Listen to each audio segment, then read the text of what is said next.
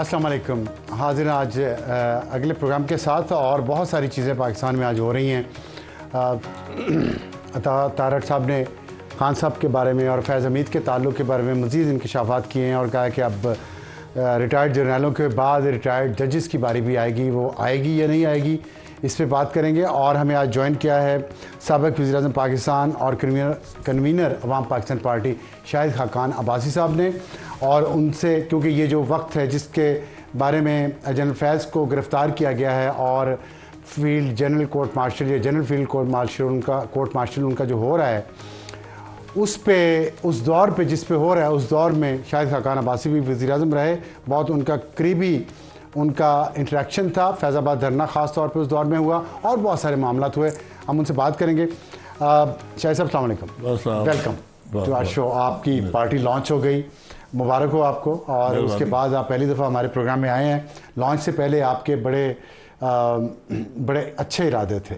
तो लॉन्च के बाद आप समझ रहे हैं कि इस वक्त जो मुल्क में हालात हैं उसमें आपकी पार्टी के लिए गुंजाइश ज़्यादा हो गई या कम हो गई बात गुंजाइश की नहीं है बात मकसद की है। जितनी आज ज़रूरत है मेरे ख्याल कभी पाकिस्तान की तारीख में नहीं थी। आपके सामने तीनों बड़ी जमातें हैं उनकी क्या कारकर्दगी है क्या सोच है तो एक कम से कम ऐसे लोग होने चाहिए जो आइन की बात कर सकें जो मुल्क की बात कर सकें मुल्क के मसाइल की बात कर सकें उनके हल की बात कर सकें। जनरल फैज़ की जो गिरफ्तारी हुई है और उन पर जो केसेस बनाए गए हैं पोस्ट रिटायरमेंट आर्मी एक्ट की खिलाफ वर्जी और कमर मोइज़ का जो उन्होंने यहाँ पे टॉप सिटी वाला जो केस है उन पर आपके ख्याल में ये कितने मज़बूत केस हैं और ये कैसा स्टेप है आर्मी की तरफ़ से? देखिए पहली बात ये है कि मैं केसेस को पोलिटिसाइज़ करने के और मीडिया के अंदर तशहर करने के हक़ में नहीं हूँ। क्योंकि ये एक तरफा होते हैं। मुझ पर भी बहुत से केस बने हैं। यही बातें हमारे ख़िलाफ़ भी की गई हैं। तो इसलिए जिस पे आपने इल्ज़ाम लगाया और ये फ़ौज का अपना मामला है अंदरूनी मामला है। उनका अपना एक निज़ाम है। फ़ील्ड जनरल कोर्ट मार्शल इसे कहते हैं ये समरी प्रोसीडिंग्स होती हैं। इसकी जहाँ तक मेरी नॉलेज है कि इसके इल्ज़ाम की तशहर इससे पहले मुझे नहीं याद कि किसी के बारे में की गई हो। बहरहाल तशहर कर दी गई है। आई एस पी आर ने खुद कर दी है। अब इसकी प्रोसीडिंग्स भी एक्सपेक्टेशन ये होगी कि मीडिया के अंदर आएँ कि क्या बात हुई है, क्या जवाब आया है, क्या हुआ है। हालाँकि इसकी प्रोसीडिंग्स पब्लिक नहीं होती, ये रिकॉर्डेड नहीं होती, यानी उनका अपना अंदरूनी रिकॉर्ड होता है। ट्रांसपेरेंसी नहीं होनी चाहिए आपके हाल में? नहीं इनमें नहीं होती ना इस निज़ाम में नहीं नहीं आप हम तो जमहूरी निज़ाम है ना पार्लियामेंट्री जी जमहूरी निज़ाम है लेकिन उनका अपना एक सिस्टम बना हुआ ठीक है लेकिन है तो हमारे जमहूरियत का हिस्सा ही जी फिर आप ये आप डिमांड कर सकते हैं अब तो आपको करना पड़ेगा। खुद करते रहे ये डिमांड। नहीं मैं जो हमारी ट्रायल होती है ना जो सिविल कानून के तहत होती हैं फौज ये फौज का ट्रायल है। ये वो कानून नहीं है जो जिसके तहत सिविल ट्रायल ठीक है। लेकिन तफसीलात आवाम को तो पता चलनी चाहिए ना क्योंकि एक सियासी जमात का नाम आ रहा है उस सियासी जमात की बहुत सपोर्ट है उनके मुखालफन की भी बहुत सपोर्ट है तो एक पब्लिक इशू तो ये बन गया है। बाज़ इशूज़ ये बिल्कुल प्योर मिलिट्री इशू होता है तो अलग बात थी लेकिन अगर उसमें पोलिटिकल इशूज़ में पोलिटिकल मैटर्स में पोस्ट रिटायरमेंट आर्मी एक्ट की खिलाफ वर्जी की गई है तो मेरा ख्याल है तो पब्लिक होना चाहिए। जी ये तो अभी नहीं आया ना अभी तो आपने सिर्फ़ एक मिलिट्री ऑफिसर का ट्रायल कर रहे हैं। जी। तो वो ट्रायल जो होते हैं माजी में मुझे याद नहीं है कि किसी का ट्रायल पब्लिकली हुआ हो। नहीं पब्लिकली ट्रायल ना हो तो शहीद की बात कर रहा हूँ। मैं तफसीलात कि आज ये प्रोसीडिंग्स वो नहीं आती ना नहीं आती। मैं ये अच्छा, आप कह उसका आमतौर पे हुए हैं पहले भी इससे भी जनरल ऑफिसर्स के भी हुए हैं। जी। वो एंड पे एक जजमेंट आ जाती है कि फलाने शख्स को सजा दी दी गई आप समझते ये वाला केस भी पुराने केसेस जैसा ही है? जी बिल्कुल वही केस है। एक फ़र्क नहीं है। एक आर्मी ऑफिसर को आप ट्रायल कर रहे हैं चाहे वो रिटायर्ड हो या ये कानून में इजाज़त है कि आप कर सकते हैं अगर मिलिट्री में जो कवानीन है उस कंड उसके खिलाफ कंडक्ट हुआ हो। अब चूँकि अगर आप पार्टी को भी इन्वॉल्व करें फिर आपको पार्टी को भी ट्रायल करना पड़ेगा। अगर उस पर यह इल्ज़ाम है कि इसने किसी पार्टी की मदद की है कानून तोड़कर तो वो आपको फिर पार्टी को भी उसमें पार्टी बनाना पड़ेगा। क्या वो मिलिट्री कानून में आएगा या बाहर जाना पड़ेगा ये भी आपको देखना पड़ेगा। हम जो सुन रहे हैं वो तो यही है कि अगर ये बानी पीटे जो हैं इमरान खान उनके ऊपर इल्ज़ाम आया तो उनका भी ट्रायल मिलिट्री कोर्ट में होगा। ये फिर आपको देखना पड़ेगा कि क्या मिलिट्री जो आर्मी एक्ट की खिलाफवर्जी हुई है या नहीं हुई। आर्मी एक्ट बड़ा वाजे है। वो वो वो कोर्ट ही देखेगी ना? जी। फ़ील्ड जनरल कोर्ट मार्शल नहीं नहीं फ़ील्ड जनरल कोर्ट मार्शल नहीं करता। वो कौन करेगा? जो जैक ब्रांच है या अटॉर्नी जनरल है ये वो करेंगे इस बात का तयन कि ये ऑफेंस जो हुआ है क्या ये आर्मी एक्ट के तहत एक कोर्ट मार्शल प्रोसीडिंग में ट्राई होगा या एक ऑर्डनरी कोर्ट में होगा? ये सिविलियन के लिए इमरान खान के लिए जी क्या सिविलियन के लिए सिविलियन फैज का तो वो आर्मी एक्ट के तहत कर सकते हैं ना इसमें तो कोई अभाम नहीं जी कर सकते हैं नहीं। सिविलियन का भी हो सकता है। अच्छा। अगर वो बेटमेंट में आ जाए ठीक है। उसने उस अफसर की मदद की है हम्म, हम्म। या उसको हुक्म दिया है ये गलत काम करने का या वो एक कॉन्स्परेसी का हिस्सा है फिर वो भी कोर्ट मार्शल के अंदर ट्राई हो सकते हैं। हो सकते हैं। ये कानून यही कहता है। ठीक है। तो इसमें आपका जो उस वक्त का दौर था क्योंकि इस वक्त जो एक हाइप तो क्रिएट हुई है ना। जनरल फैज़ का बहुत अहम दौर रहा है जनरल बाजवा के साथ मिल के इमरान खान के साथ मिल के तो एक हाइप क्रिएट हुई है लोगों का इंटरेस्ट इसमें है। उसमें लोग ये जानना चाहते हैं कि आपके दौर में क्या इसी तरह अपनी मर्ज़ी किया करते थे जनरल फैज़ या आपसे पूछ के कुछ करते थे? नहीं मेरा जनरल फैज़ से कोई ताल्लुक नहीं था। General Faiz D G C थे। Prime hmm. मिनिस्टर का ताल्लुक होता है रबता जो होता है वो डी जी आई सी से होता है। डी जी आई से उसके मातहत नवीद मुख्तार थे? जी नवीद मुख्तार उन्होंने कभी आपको इनके बारे में कहा कि ये मेरे कंट्रोल में कोई बात कोई आपको कभी शिकायत तो नहीं आया हुई? मेरे पास आई एस आई के किसी काम से? तो फिर ये फैज़ाबाद धरना पे आपने लेकिन कहा है कि ये डार्केस्ट पीरियड था मेरे दौर का। नहीं मैंने नहीं कहा डार्केस्ट पीरियड था मैंने आपने ये डॉन में खबर मैंने ये कहा कि डार्केस्ट चैप्टर डॉन में डार्केस्ट चैप्टर मैंने ये मुझसे ये कमीशन में पूछा गया मैंने खुद कभी इसे बयान नहीं दिया।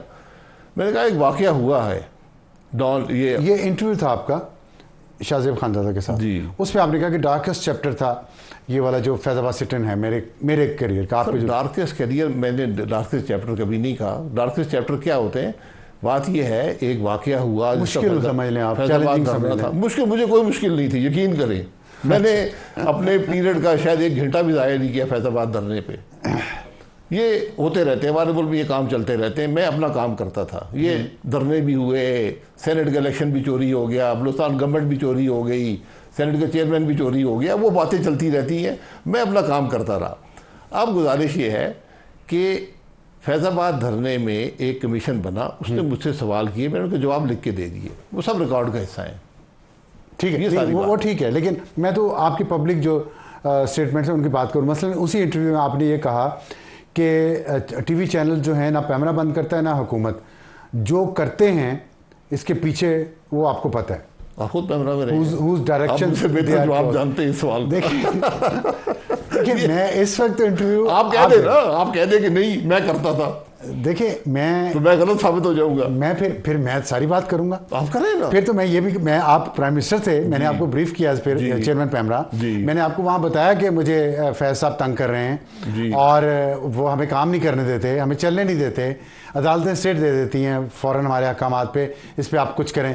तो आपने कहा कि आप आप काम करने छोड़ दें। आप कहें कि नहीं नहीं आपको पूरी बात याद नहीं है। मुझे नहीं मुझे याद है याद है। मैं कभी जनरल फैज़ का ना मैंने कभी उनसे मिला था ना आपने उनका ज़िक्र किया। आपने ये फरमाया कि मेरे 500 केस हो गए स्टे ऑर्डर्स हुए हुए। मैं कहा आप उन केसों से विड्रॉ कर लें। उन केस वो इन्फ्रक्चुअस हो गए उनका कोई मकसद नहीं रहा। मैं कहा विड्रॉ कर लें आप। एक पॉइंट था ये। दूसरा ये था मैंने आपको स्पेसिफिकली बताया मिनट्स ऑफ़ द मीटिंग में लिखा हुआ है। उस वक्त जो मीटिंग हुई थी रिकॉर्ड निकलवा लें देख लेते निकलवा लें निकलवा उसमें खैर मैं मैं, अगर मैं गलत हूँ तो मैं आपसे माफ़ी मांग लूँगा आप गलत हैं मुझसे माफ़ी मांग। मांगने की बात हम दोनों मिलकर पाकिस्तान से माफ़ी मांग लें ज़ाहिर है ये बात सही है। हाँ। मेरा मेरा बात करने का मकसद सिर्फ़ ये है कि कुछ तो किया होगा ना जनरल फैज ने। आपके दौर में जिससे आप आपने कहा लेकिन आपको कोई मुश्किल पेश ही नहीं तो हम इस पे आगे चलते हैं। मुझे देखिए मेरा जनरल फैज से एज प्राइम मिनिस्टर ना कभी मीटिंग हुई है ना मेरा कोई वास्ता था। आपके दौर में उन्होंने फैजाबाद धरना पे साइन किए जिसको आपने भी मेरे, मेरे वज़ीर थे ना उनके साथ एहसन इकबाल साहब मेरे वज़ीर मुझसे मैंडेट लेकर वो तो सियासी लोग हुए ना। जी। वो तो आप लोग तो कर सकते हैं ये सब कुछ।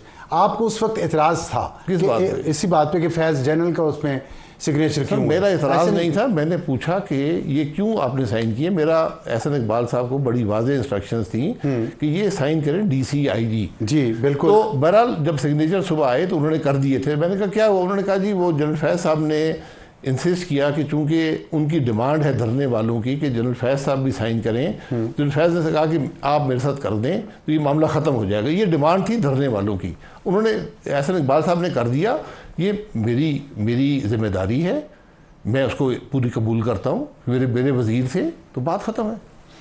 अच्छा इस वक्त जो हालात हैं, आपके ख्याल में अब यहाँ से अगर आप, ज़ाहिर है, अब मैं ये भी नहीं कह सकता, अगर आप वज़ी अजम होते आप वज़ी अजम रह चुके हैं, मुश्किल हालात में हैं। चपकलश है, अदार इदारों के दरमियान कशमकश है, इदारों के अंदर आपस में कशमकश है, जुडिशरी में देख लें। आप क्या मशवरा देंगे या आप क्या करते अगर आप इस पोजीशन में होते? इस वक्त मुल्क को आगे ले जाने के लिए। आपस में बैठे कोई और रास्ता नहीं है। लेकिन पार्लियामेंट तो है ना। पार्लियामेंट के बस का काम नहीं आप समझते हैं उस पार्लियामेंट के पहले कौन थे पार्लियामेंट पार्लियामेंट के कौन थे बस तो आप कौन कौन बैठे आपस में? मैं पचास दफ़ा बयान कर चुका हूँ। छह छह लोग हैं। हम्म। चार पॉलिटिकल लीडर हैं। हम्म। पांचवा भी डाल दें पोलिटिकल लीडर छठा भी डाल दें जो आपकी मर्ज़ी है। ठीक है। फौज के सरबराह हैं जुडिशरी के सरबराह हैं। हम्म। आज हमारे मुल्क का मुस्तबल इनके हाथ में है। इनका इकट्ठे बैठना ही आपको रास्ता देगा। कोई और रास्ता नहीं है। कंसेंसस मेरा मेरा जो छत्तीस साल का सियासी तजर्बा है हम्म। वो ये बताता है कि इसके अलावा आपके पास रास्ता नहीं है।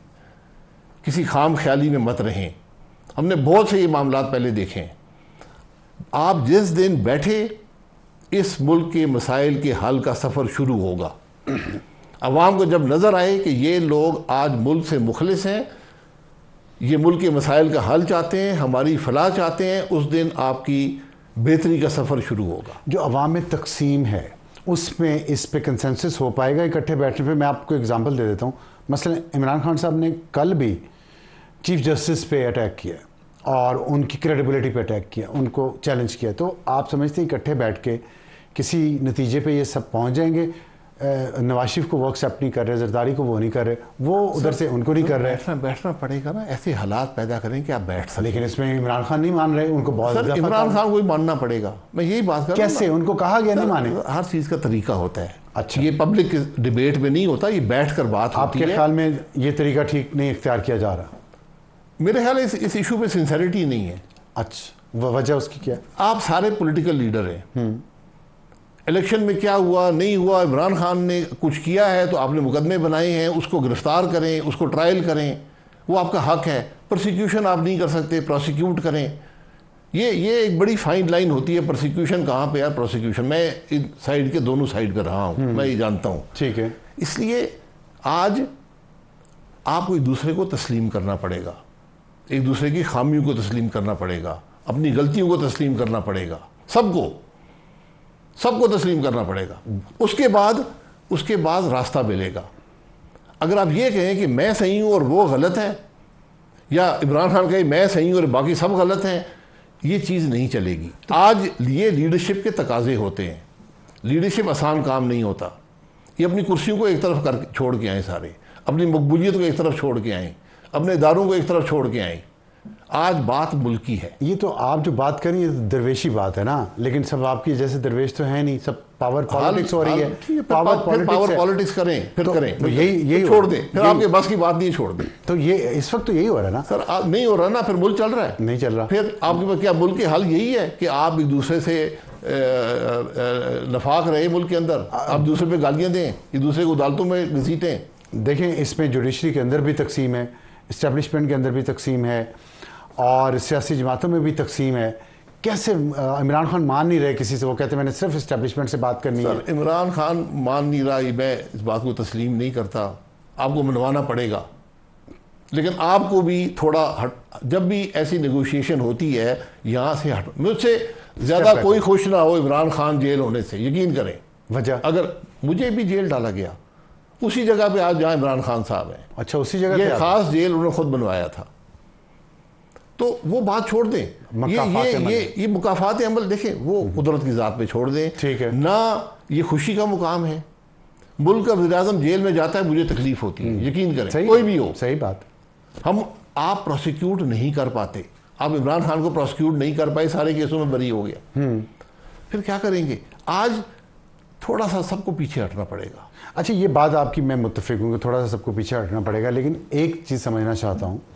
और लोग भी समझना चाहते हैं जो आपको सुन रहे हैं कि अगर सब कुछ मुकाफात अमल पे छोड़ना है तो फिर आइन और कानून का क्या करें? अगर कोई इस हद तक चला जाता है कि हर चीज़ तबाह करने पे आ जाए पावर पॉलिटिक्स के लिए या किसी भी मकसद के लिए क्या उस तक कानून का हाथ नहीं पहुँचना चाहिए? बिल्कुल पहुँचना चाहिए। बिल्कुल पहुँचना चाहिए। तो उसमें नौ मई 2023 इस मुल्क में एक बड़ा सानिया है। लेकिन उससे बड़ा सानिया ये है कि आज पंद्रह महीने के बावजूद हम किसी को प्रोसिक्यूट नहीं कर सके। ये सबसे बड़ा सानिया है। ठीक है। आप प्रोसिक्यूट करें ना। तो अगर- इल्ज़ाम लगाएँ आप इंग्लैंड देख लें। राइट्स हुए हम्म, हैं उन्होंने अभी राइट्स चल रहे हैं अभी खत्म नहीं हुए। कहीं कहीं का दुका जारी हम्म। है। सही एग्ज़ाम। उन्होंने पकड़ के जेलों में डाल दिया सबको। तो अभी अगर जनरल फैज को उन्होंने पकड़ा है देर आए। आपकी बात ठीक है बहुत देर जनरल फैज का मैं जिम्मेदार नहीं हूँ वो फौज जिम्मेदार है। वो वो सिविलियन गवर्नमेंट के मातहत नहीं है। मिलिट्री ट्रायल है और एक जहाँ तक मेरी नॉलेज है जो आईएसपीआर ने कहा है एक क्रिमिनल केस में उन पर फौज ट्रायल कर रही है। अगर उसमें मे नो के मामला शामिल होते हैं फिर वो बात और होगी। इस वक्त जो ट्रायल है वो वो ट्रायल है। फौजी ट्रायल्स बहुत कम अरसे में चंद दिनों में मुकम्मल हो जाते हैं। क्योंकि वहाँ कानून यही होता है जो नैब का कानून है कि मैंने इल्ज़ाम लगा दिया अब आपने सफ़ाई पेश करनी है। ठीक है वो माने वो यानी गिल्टी अंडल प्रूवन इनोसेंट होता है वहाँ इनोसेंट अंडल प्रूवन गिल्टी नहीं होता। बहुत शुक्रिया शाहिद खान नवाजी साहब से बात करने का। और जैसा कि सबक वजी अजम ने कहा कि एक एक कदम सबको पीछे हटना पड़ेगा। अगर पा- पावर पॉलिटिक्स में जारी रहे तो फिर मुल्क में इससे काम का आना मुश्किल है। लेकिन क्या ये हो पाएगा या नहीं इस पर हम बात करेंगे छोटे से ब्रेक के बाद। हम शुरू करते हैं अकरम शेख साहब से, जो हमारे साथ हैं, टोरंटो से। और बहुत अरसे से मंजराम पर नहीं है, लेकिन बहुत शुक्रिया शेख साहब कि आज आपने हमारी दरख्वास्त कबूल की। और आप हमसे वो शेयर करने जा रहे हैं जो आज तक आपने शायद आपने शायद शेयर नहीं किया। तो ज़रा बताइएगा कि जनरल फैज़, जब डी जी आई थे जिस दौर में, दिसंबर 2019 में आपके घर पर डाका पड़ा, उसकी तफसीत थोड़ी मुख्तसरन हमें बताइएगा। 21 दिसंबर 20 2019 का वाक़ा है। रात जी जी। गुलजार साहब की अगले दिन 21 तारीख को टेकिंग थी। तो वहाँ एक बात एक आप जानते हैं मुतल्ला जान साहब अपने तर्ज के बहुत अच्छे साथी हैं। उन्होंने मुझसे एक सवाल किया जब मैं तकरीब से निकल रहा था कि शेख साहब ये अनवर मंसूर साहब ने ये कहा है कि हम वकार एक साहब के खिलाफ सुप्रीम कोर्ट में 209 की प्रोसीडिंग्स ऑफ़ मिसकॉन्डक्ट दायर कर रहे मैंने कहा ये ठीक। अनवर मंसूर साहब शायद इस पे नजरसानी करें क्योंकि उन्होंने आईसीजे में अबकार सेठ साहब की जजमेंट्स पे रिलाई करते हुए ये कहा था कि पाकिस्तान की जुडिशरी बिल्कुल आज़ाद है और अगर कलभूषण यादेव को अ, अदल ना ना मिला मिलिट्री कोर्ट ट्रायल से तो फिर वो सुप्रीम कोर्ट और हाई कोर्ट में चैलेंज कर सकता है। तो मैंने कहा ये तो ठीक। बजाय इसके कि बॉल इंडिया की कोर्ट में इंडिया की कोर्ट में फेंका जाए ये तो हमें खुद इसका अपना अंदरून खाना इसका एहतसाब करना चाहिए कि ऐसी कोई बात ना हो। नुकसान ये बात मुझे अपने आप को गोल हो जाएगा। जी। तो जब ये ये बात ये बात मुझे इलम नहीं थी कि इसकी वजह क्या बनी। डकैती की कराची था एक मुकदमे की पैरवी के सिलसिले में और इम्पोर्टेंट केस था मेरे लिए। तीन दिन में वहाँ था। तो उन्होंने मुझे मिलिट्री सेक्रेटरी साहब ने कहा कि आप आज शाम खाना खाइए मुझे उन्होंने कहा कि नहीं जी, ये बड़ी ज़रूरी है। और फिर मुझे उसके बाद जो एक बहुत बड़े काबिल सद एहतराम, दीनी, रहनुमा हैं और बहुत ही फलाह का काम करते हैं बहुत अच्छी दरगाहें बनाई हुई हैं उन्होंने। उनके सेक्रेटरी ने मुझे फ़ोन किया कि आप ज़रूर आ जाएँ। तो मैं बहुत बादल नाखास्ता चला गया। अगरचे मैंने जनरल बेग का मुकदमा बहुत तवील अरसा लड़ा तो जनरल वहाँ मैंने देखा अच्छा, वो ठीक। उन्होंने कहा कि आपके साथ जो आपके साथ वाक़ हुआ है 21 तारीख को उसकी खबर बैन अवी नशियाती इदारों ने नशर की है। मैंने कहा जी मैंने किसी हम्म। बैन अवी नशियाती इदारे को नाम किया है और ना मैंने कोई अपना इंटरव्यू दिया है या ना मैं उसकी प्रेस रिलीज़ जारी की है। तो उन्होंने कहा नहीं हमें आपने असल में कुछ तकरीब में ये कहा था कि आप जो है वो अगर वो वकार सेठ के खिलाफ कोई प्रोसीडिंग की गई तो आप शायद खुद बैन अवी अदालत में जाके दरख्वास्त देंगे। मैंने कहा मैंने ये कहा था कि इंडिया के दरख्वास्त देने की बजाय हमें खुद एहतसाबी करनी चाहिए और इस तरह के कामों से बाज आना चाहिए। और मुझे बड़ी खुशी है ठीक है। मेरी उस तजवीज पे या अपने तौर पर उन्होंने नजरसानी करते हुए उस उनकी जो बोस्ट था उस पर अमल दरामद नहीं किया और शेख वकार साहब के खिलाफ रेफरेंस फ़ाइल नहीं किया। मुझे और तो हमारी पाकिस्तान की मुमताज़ दीनी शख्सियत इस बात की गवाह। है आप हमारे बड़ों से शामिल हैं। आपका बड़ा अनब्लेमिश्ड कैरियर है। Over the three days that have intervened from the deputy till this moment उन्होंने उसी नशिस्त मजलिस में तीन, चार दफ़ा मुझे कहा कि मैं आपसे, जो आपको जहमत हुई, जो आपको एम्बेरसमेंट हुई, और मैं चूँकि ये हमारे अदारे से मुतालिक बात है तो मैं D G M I general Azhar Waqas साहब जो हैं, मैं उनको रिक्रूट कर रहा हूँ इंक्वायरी करने के लिए। कि ये क्यों हुआ है? ठीक। आप ये कीजिए कि आप चूँकि बाहर अच्छा। एक आलमी प्रेस होता है जनीवा भी आपकी विज़िट है आपने लंदन भी जाना है तो आप किसी से बात न कीजिए। मैंने कहा जी मैं बात नहीं करूँगा। मुफ्ती साहब मेरे जामन है लेकिन मुझे बताइए कि मेरे साथ ये क्यों हो रहा है? मैंने कहा जी मेरे जब से मैंने मुशरफ का केस किया है मुआशी नातका बंदी मुकम्मल तौर पर ट्वेंटी फोर्टीन से आप मेरी इनकम टैक्स की रिटर्न्स देख लें मेरे जो अपने अज़ीज़ थे अपने मेरे क्लाइंट्स उनको भी इन्होंने बुला के आप इसको इससे रवाबत ना रखें तजारती रवाबत और प्रोफेशनल रवाबत। आप इससे बहुत अच्छे वकील हकूक कला हैं। और ये इसने नाराज़ किया है खाम खा हमारे मुख्तदार अदारों को तो क्यों आप इनको कौंसल करते हैं? नहीं उन्होंने कहा चीज़ें आपकी वापस मिली? नहीं मेरी अर्ज़ सुने ना। उन्होंने मुझे तीन फरवरी की तारीख तय कर ली मुतफिका तौर पे। तीन फरवरी ट्वेंटी फिफ्टीन की। 2020 कि आप बाहर से हो आए अब्दुल्ला 2020 शरीफ की हाथ तो दो हज़ार बीस। और हेग से हुआ आए और जनेवा से हुआ आए और हम तीन तारीख तीन फरवरी को मिलेंगे। उस वक्त तक आपकी चीज़ें जो आपसे जो है वो ले गए हैं। वो भी आपको मिल जाएँगी और हम आपको बिल्कुल विंडिकेट अच्छा। करेंगे और आप हम हम आपके वेल हम आपके वेल विशर हैं। तीन फरवरी की तारीख मैंने मुफ्ती साहब जो हमारे बुज़ुर्ग थे उन उन्होंने भी कहा ठीक तीन फरवरी ठीक है। क्योंकि मैंने 25 जनवरी को वापस आना था।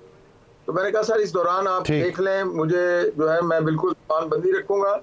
लेकिन आप ये है कि मेरी बड़ी मेहनत उसमें शामिल है जो कुछ कुछ ले गए हैं। मैंने बड़ा काम किया है। मुकदमा तो मैंने 18 सितंबर 2014 को मुकम्मल कर लिया था। लेकिन उसके बाद मैं उसकी कोई है।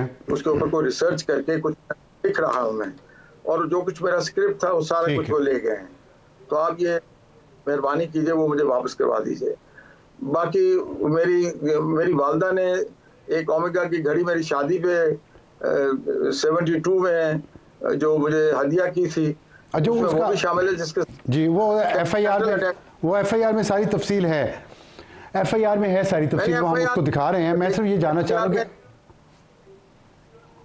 सर सर आप मेरी अर्ज़ सुन तो ये कि ये क्या मुमकिन है कि एक एफआईआर जिसमें मुझ जैसे फकीर आदमी के घर पे साढ़े तीन घंटे तवील कनपुटी पे पिस्तल रखते हुए ये सारी वारदात हुई उसके ऊपर मेरा बयान भी कलमबंद ना किया आज तक किसी ने।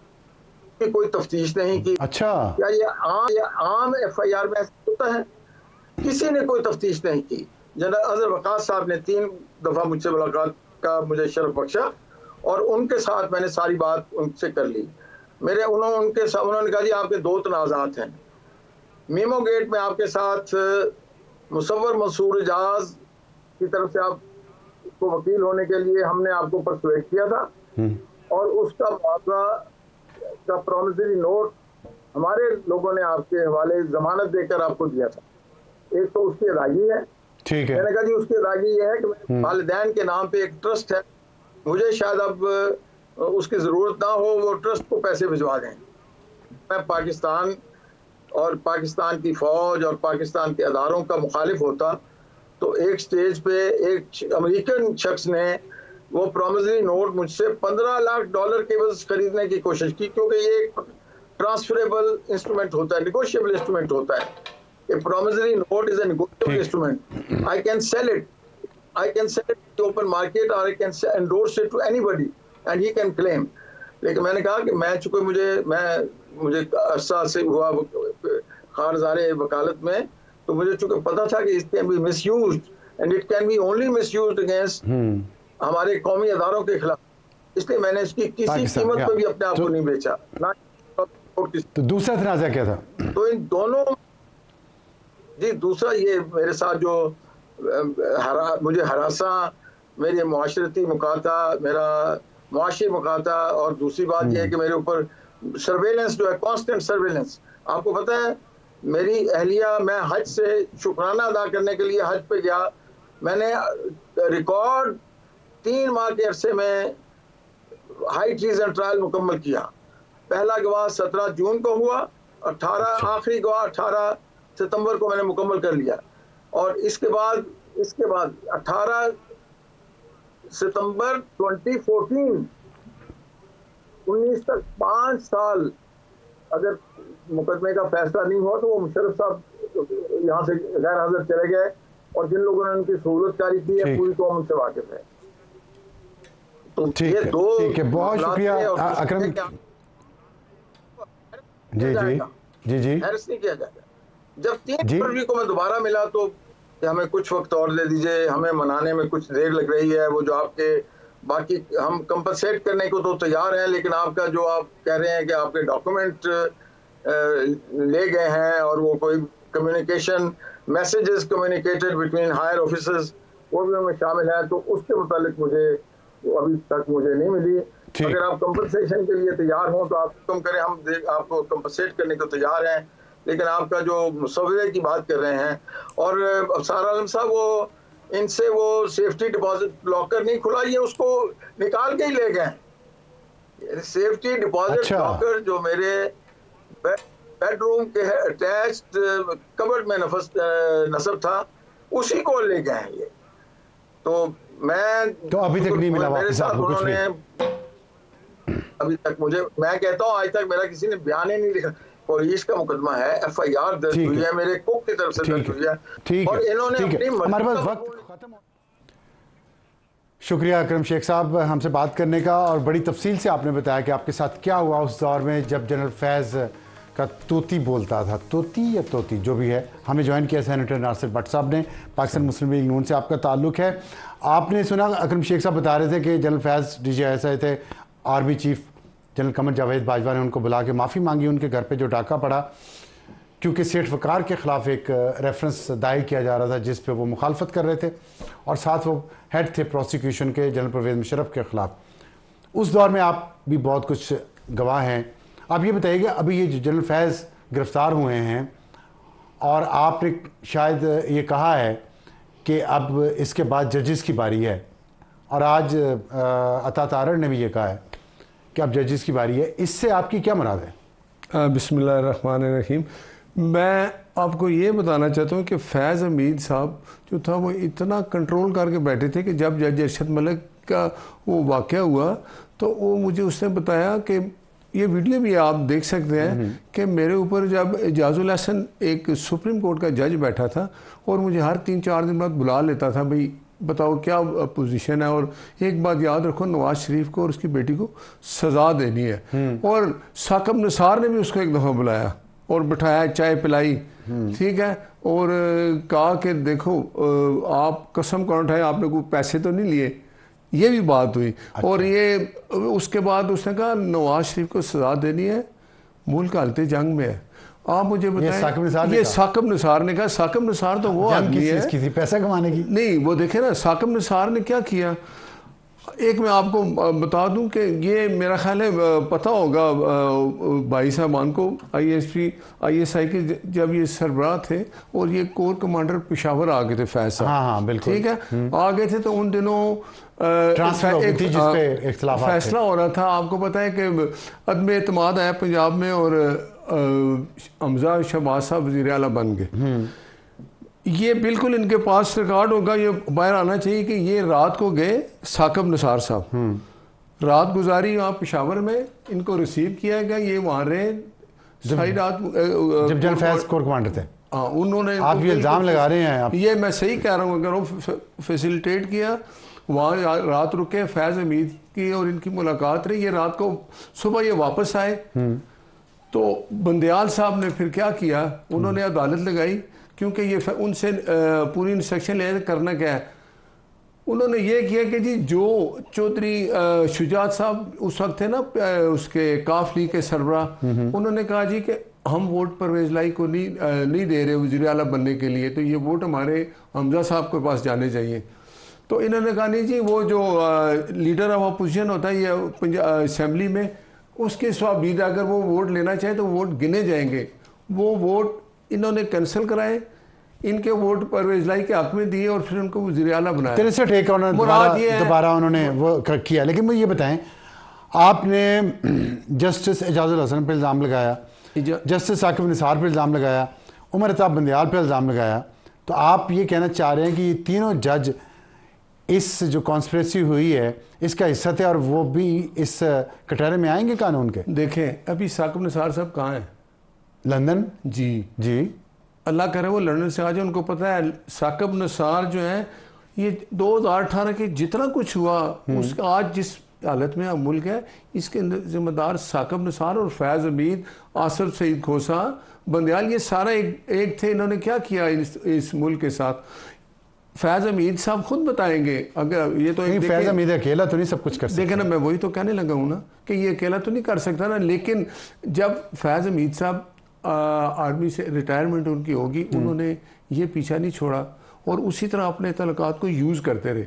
जो आप अब आप देखें ना आर्मी अपना एक कानून है उन्होंने उनको मतलब अगर रिटायर्ड जर्नैल और रिटायर्ड जजेस दो या तीन आपकी पूरी हुकूमत को और सबको इस्टेब्लिशमेंट को उन्होंने वक्ता डाल दिया है।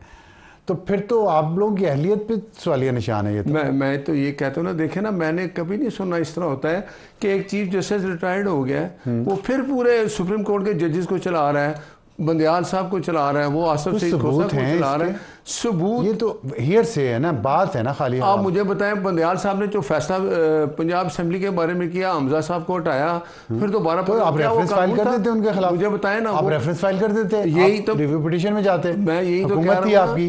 अभी भी है। अभी भी तो अभी तो एक अच्छी बात हुई कि फैज अमीद की जो सारे काले करतूत सामने आ गए ना। हम्म। ये ये मुल्क तो फौज ने खुद किया ना। आप लोगों ने क्या किया? नहीं हम तो देखे बताने वाले थे ना जज अरशद की वीडियो थी। आसफ सईद खोसा चीफ जस्टिस थे। हम्म। उन्होंने जब वीडियो का केस वहाँ गया तो उन्होंने कहा अच्छा जी वीडियो बनाने वाला किधर है? उसको बुलाएँ। वीडियो कैसे बनी? ये नहीं देख रहे कि वीडियो में क्या कह रहा है। उसको हटा दिया। जज अरसद मलक दुनिया से चला गया अल्लाह उसको जन्नत दे लेकिन उसका फैसला बरकरार रखा। फैसला बरकरार रखा ये देखे ना ये सब चीज़ें थी। अब मैं ये कहता हूँ कि साकब नसार ज़रूर इसमें शामिल है आएगा। अच्छा एक बात बताएँ क्या आप लोग ऐसा मैंने सुना है आप लोग ऐसा प्लान भी कर रहे हैं कि साकिब निसार लंदन में जहाँ ठहरा हुआ है वहाँ मुस्लिम लीग नून मुजाहरे करेगी जैसे नवाज़ शरीफ के घर के बाहर मुजाहरे हुआ करते थे? आप देखें ये तो मुजाहरा करना तो जमहूरियत कैसा करेंगे हम्म। लेकिन अगर वो वापस ना आया तो हम उसको वापस लाएँगे। कैसे? आप हम बरतानिया हुकूमत को कहेंगे कि ये बंदा इधर विज़िट के लिए भी आया रुका है ये अगर वहाँ वो सैलम लेता है हाँ। तो फिर भी उसके उसको सैलम नहीं मिलेगा। मुझे ये यकीन है। कैसे नहीं मिलेगा इसलिए हम्म। मुझे उसके पास कोई वो नहीं होगी ना आप ग्राउंड नहीं होगी। आप केसेस कर रहे हैं उसके पीछे पड़े हुए हैं। जब तो, वो केस करेगा तो आप इस चीज़ को कंफर्म करें कि साकब नसार रिस्पॉन्सिबल इसलिए वापस नहीं आ रहा। हम्म। अगर वो इनोसेंट है वो ठीक है नहीं देखिए वापस आ जाए। वो ठीक है आपकी बात वो तो ऐसे बहुत सारे एंकर भी गए हुए हैं बाहर हम समझते हैं इस चीज़ को लेकिन ये का, ये कानूनी तो नहीं होगा ना वो कहें वो ये तो प्रोपेगेंडा वॉर हो जाएगी वो कहेगा मेरी हुकूमत मेरे पीछे पड़ी हुई इसलिए मैं वापस नहीं जा रहा मैंने कोई जुर्म नहीं किया जैसे एंकर्स कहते हैं। देखें। आप ला पाएँगे कि नहीं ला पाएँगे? मैं आपको ये लिख के देता हूँ कि वहाँ साकब नसार का जीना आराम हो जाएगा। ठीक है? कैसे? कैसे इसलिए कि जब वो सड़क पे बाहर निकलेंगे कैसे करेंगे? सड़क पे बाहर निकले ना निकले। देखे निकलेगा आज नहीं तो पता है वो रहते कहाँ है वहाँ? देखिए चीज़ वहाँ नहीं छुप सकती।